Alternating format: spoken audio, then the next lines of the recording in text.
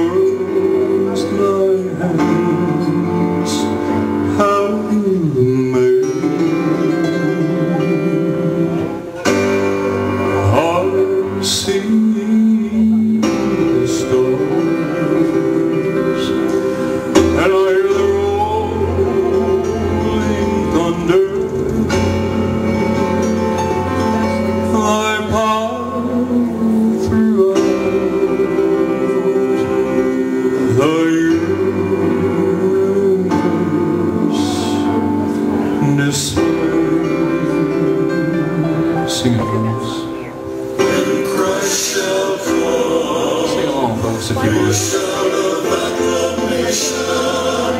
To take me